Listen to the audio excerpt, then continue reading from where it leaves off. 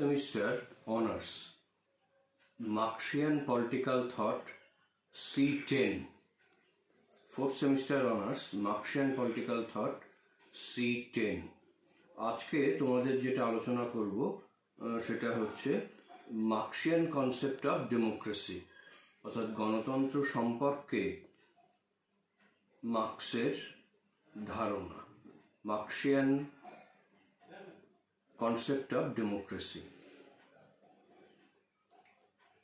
তো প্রথমেই বলা যায় যে মার্কস এবং এঙ্গেলস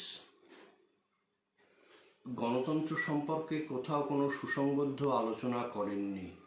কিন্তু আহ, বিভিন্ন রাইটিংসের মধ্য দিয়ে মার্কস এঙ্গেলসের যে বিভিন্ন রাইটিংস সেগুলোর মধ্য দিয়ে যে গণতন্ত্র সম্পর্কে যে চিন্তা চিন্তাভাবনাগুলো পাওয়া যায় সেগুলোর মাধ্যমেই কিন্তু মার্কসের গণতন্ত্র সম্পর্কে ধারণা বা চিন্তাভাবনার আহ, একটা প্রকাশ পাওয়া যায় বা আমরা সেভাবেই মার্কসীয় মার্কস অ্যান্ড এঙ্গেলস গণতন্ত্র সম্পর্কে তাদের চিন্তাভাবনাগুলোকে আহ, ব্যক্ত করেছেন।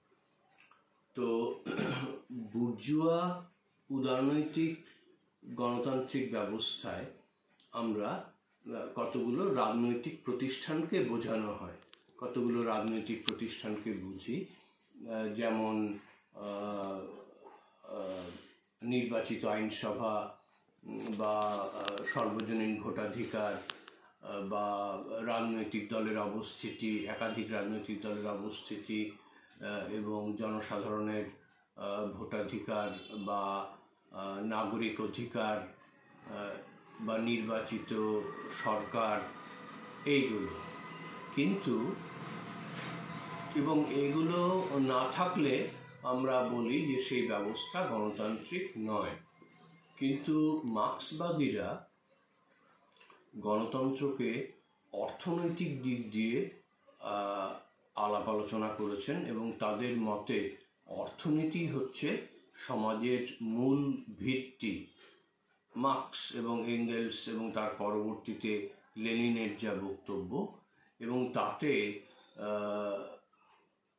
ওনারা বলছেন যে মার্কস, এঙ্গেলস, কমিউনিস্ট ম্যানিফেস্টোতে বলছেন যে, state is but an executive committee for administering the affairs of the bourgeois class.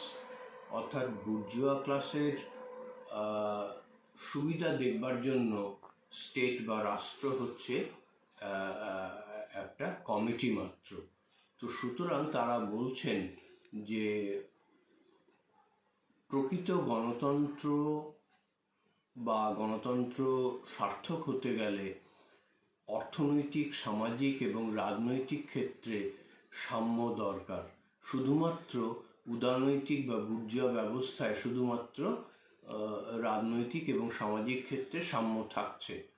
কিন্তু মার্ক্সবাদীরা মনে করেন যে অর্থনীতি হচ্ছে সমাজের মূল ভিত্তি এবং সেই সুযোগ নিয়ে সুকৌশলে যারা এলিট ক্লাস বা যারা শাসন ব্যবস্থা পরিচালনা করে তথাকথিত উদারনৈতিক গণতান্ত্রিক ব্যবস্থায় বা পুঁজিবাদী গণতান্ত্রিক ব্যবস্থায় তারা খুব সুকৌশলে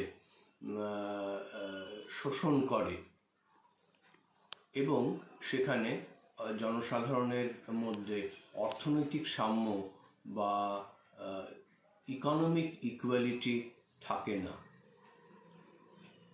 তো লেলিনো এভাবেই বলছেন যে তার স্টেট এবং revolution the state and revolution গ্রন্থে যে only proletarian dictatorship is truly democratic হ্যাঁ proletarian democracy is truly democratic অর্থাৎ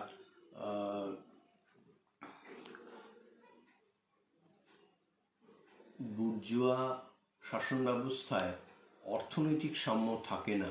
কিন্তু তারা বলছেন মার্ক্সবাদীরা বলছেন মার্কস এঙ্গেলস এবং লেলিন এরাও বলছেন যে আহ, বুর্জুয়া শাসন ব্যবস্থায় আমলাতন্ত্রকেও তারা বলছেন প্যারাসিটিক ক্লাস এবং আমলাতন্ত্রকে ধ্বংস করে নূতনভাবে সমাজ ব্যবস্থা গড়তে হবে যেখানে অর্থনৈতিক ক্ষেত্রে সাম্য থাকবে। এবং তারা বলছেন যে একমাত্র সমাজতান্ত্রিক গণতন্ত্র বা সোশ্যালিস্ট ডেমোক্রেসি একমাত্র প্রকৃত অর্থে গণতন্ত্র এবং এক্ষেত্রেই গণতন্ত্র সার্থক হয়ে ওঠে। এবং এখানে অর্থনৈতিক গণতন্ত্র থাকলে, অর্থনৈতিক সাম্য থাকলে সেক্ষেত্রে শোষণ এবং জনসাধারণের মধ্যে অর্থনৈতিক বৈষম্য থাকে না। কারণ মার্কস বলছেন যে তোমরা জানো যে state is an instrument of exploitation. অর্থাৎ রাষ্ট্র হচ্ছে একটা শোষণের হাতিয়ার। তো সুতরাং যে ক্ষেত্রে যে ব্যবস্থায় অর্থনৈতিক, সামাজিক এবং রাজনৈতিক সাম্য থাকে, সেক্ষেত্রেই প্রকৃত প্রকৃত গণতন্ত্র মার্ক্সবাদীরা বলছেন যে সার্থক হয়ে ওঠে।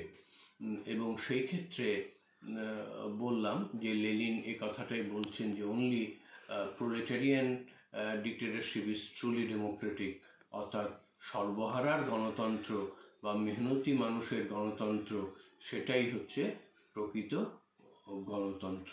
যেক্ষেত্রে আহ, জনসাধারণের মধ্যে অর্থনৈতিক সাম্য বিরাজ করবে এবং শোষণ এবং বৈষম্য থাকবে না এবং তার পরবর্তীতে সমাজতান্ত্রিক গণতন্ত্রের পরবর্তীতে আমরা এগিয়ে যাব সাম্যবাদী সমাজ ব্যবস্থায়। আহ, যেক্ষেত্রে সাম্যবাদী সমাজ ব্যবস্থায় সামাজিক অর্থনৈতিক এবং রাজনৈতিক ক্ষেত্রে প্রকৃত অর্থে সাম্য বিরাজ করবে এবং সেটাই প্রকৃত গণতন্ত্র বলেই মার্ক্সবাদীদের ধারণা।